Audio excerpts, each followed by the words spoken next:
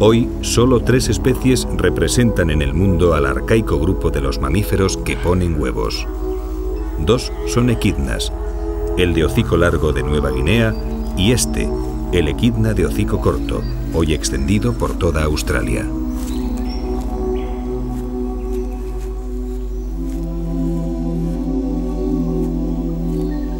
El tercer miembro de la familia es el más extraño mamífero de cuantos se conocen, el ornitorrinco, un animal esquivo que vive en algunos ríos del este australiano.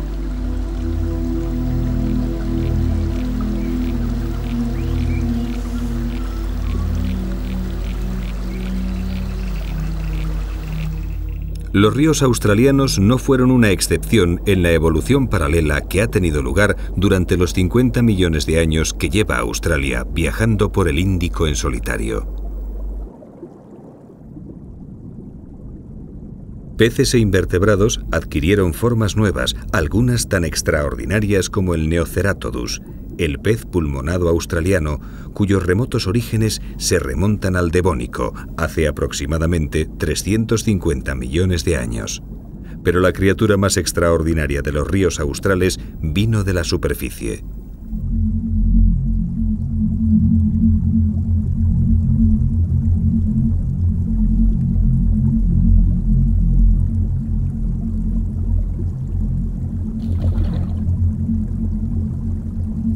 El ornitorrinco parece un compendio imposible de distintas clases zoológicas. Desde que el colono Dawson mandara el polémico ejemplar al Museo Británico de Historia Natural, pasaron casi 100 años de discusiones científicas, hasta que por fin dos zoólogos demostraron irrefutablemente que aunque eran mamíferos, realmente se reproducían poniendo huevos. Aunque son de pequeño tamaño, el apetito de los ornitorrincos parece insaciable. Este ha encontrado un cangrejo de río. Crustáceos, moluscos, anélidos e incluso anfibios forman parte de su extensa dieta. Y su singular morfología les pone al alcance sus presas aún en aguas turbias.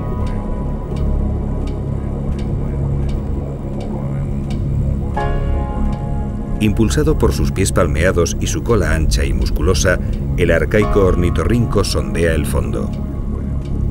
Su pico, repleto de sensores, le indica hasta el menor movimiento o cambio de temperatura.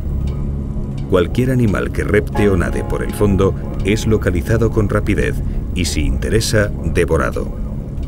En los ríos australianos, las adaptaciones del ornitorrinco no encuentran competencia. O casi.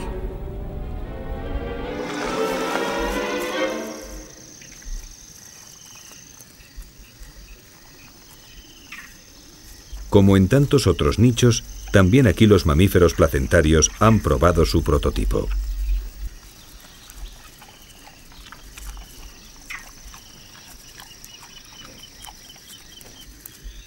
En esta ocasión fue la rata de agua, o rata castor, el resultado de su particular evolución. Un animal cuya piel impermeable y cuyas patas parcialmente palmeadas le abrieron las puertas del mundo acuático.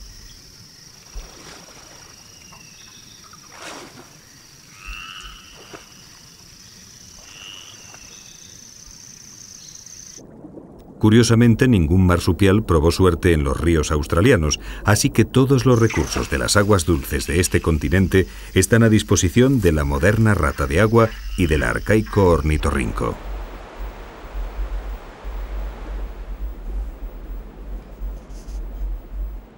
Los aborígenes que llegaron a Australia hace 50.000 años ya conocían al ornitorrinco, al que denominaban topo de agua, una denominación muy acertada porque la vida anfibia del ornitorrinco transcurre entre el agua en la que se alimenta y las orillas donde excava sus galerías.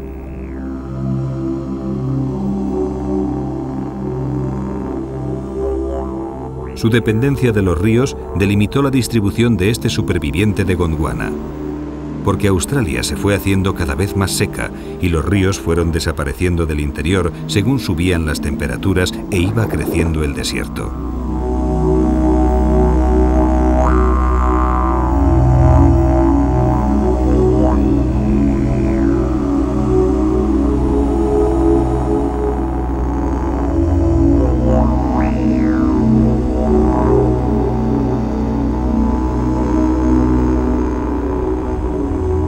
Vasto interior de Australia, el agua es el bien más escaso.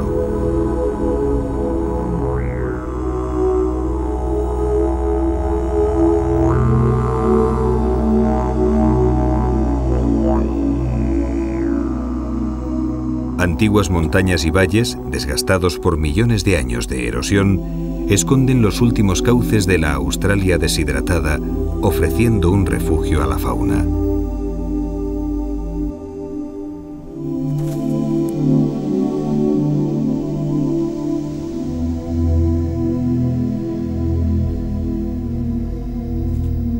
Los gualabíes de roca de Rothschild buscan las sombras de las enormes cicatrices que el clima ha abierto en las moles graníticas.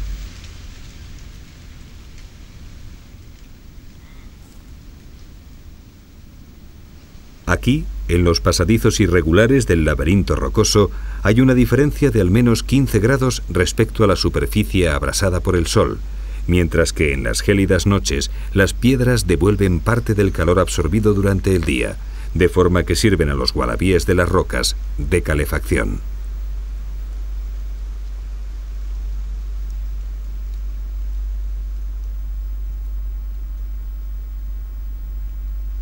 Los valles del interior, al abrigo de las montañas más antiguas de la Tierra, son la última concesión que el clima de la Nueva Australia dio a una naturaleza cada vez más preparada para el calor extremo y la sequía.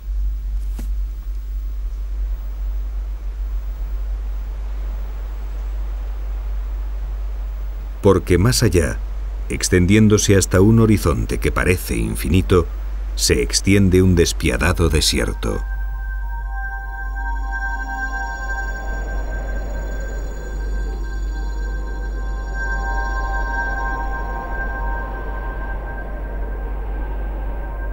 Calor, viento y arena.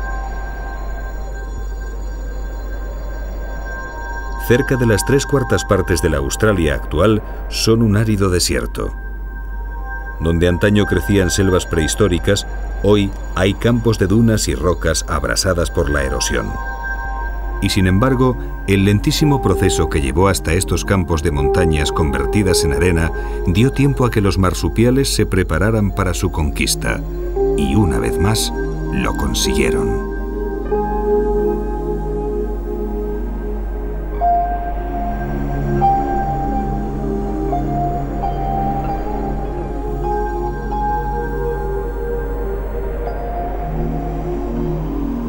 La caída del sol marca el inicio de la actividad en un desierto hasta entonces dominado por un calor abrasador.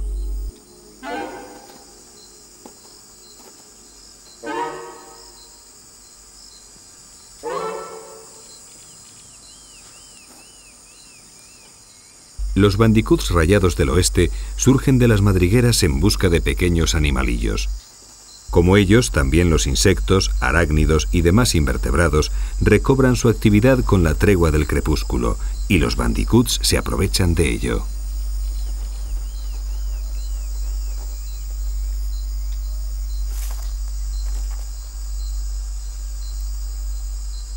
Casi todos los pequeños marsupiales que rondan el desierto o viven en su interior aprovechan la sombra y protección de los escasos arbustos rastreros para abrir allí sus madrigueras, de forma que la entrada a sus refugios permanece lo más protegida y fresca posible.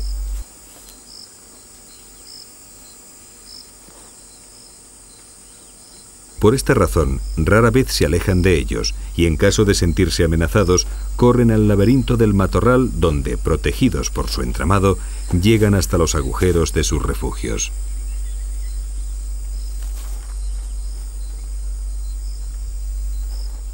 También los bilbis han salido con la llegada de la noche.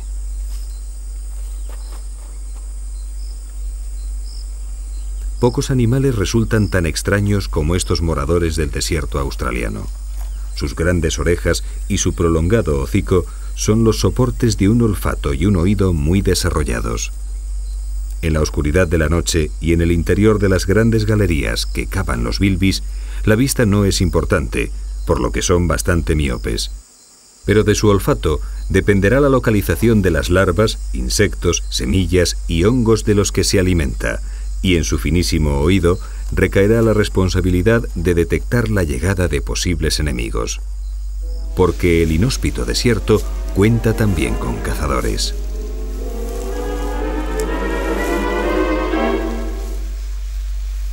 Un varano anda de caza. Conocedor de las costumbres de los pequeños marsupiales y roedores de las zonas desérticas, el poderoso lagarto ronda por una mancha de matorrales buscando la entrada a las galerías donde se refugian los mamíferos durante las horas del día.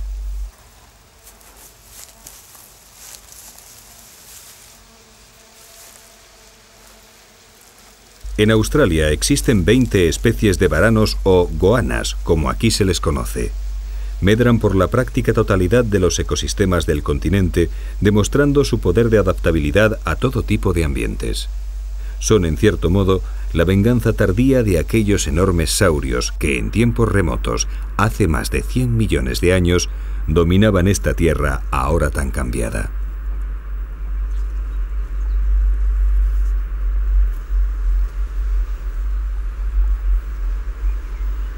El lagarto de lengua azul es mucho menos poderoso que sus primos los varanos, pero los logros adaptativos que ha conseguido le han bastado para defenderse en este mundo de cazadores y presas.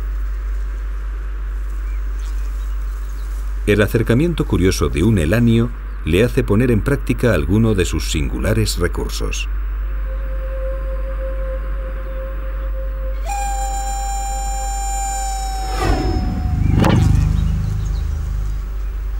Una lengua grande y azul, de aspecto tan amenazador como venenoso, sirve para ahuyentar a posibles predadores, aunque este no sea el caso del elanio, que tras la inspección prosigue su vuelo.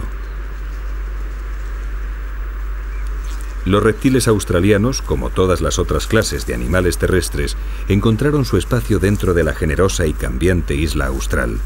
Pero hace 50.000 años, una nueva criatura llegó desde el norte, era distinta a cuantas allí había y tenía una peculiaridad devastadora. En vez de adaptarse al medio, hacía que éste cambiara y se adaptara a su conveniencia.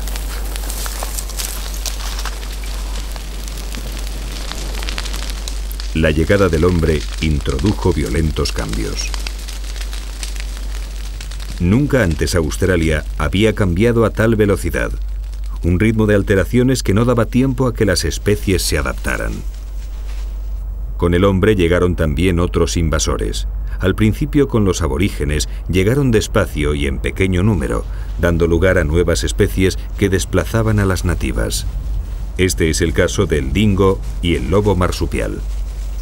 Pero con la llegada de los colonos blancos, la afluencia de invasores agresivos puso la naturaleza de Australia en serio peligro. Ratas, conejos, gatos y zorros, asnos y dromedarios, búfalos y cerdos salvajes asolaron regiones enteras.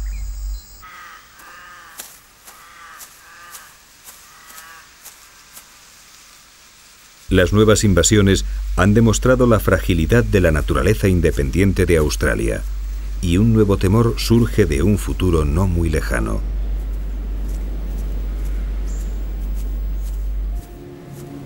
Australia sigue su lenta peregrinación hacia el norte a una velocidad de 6 centímetros al año.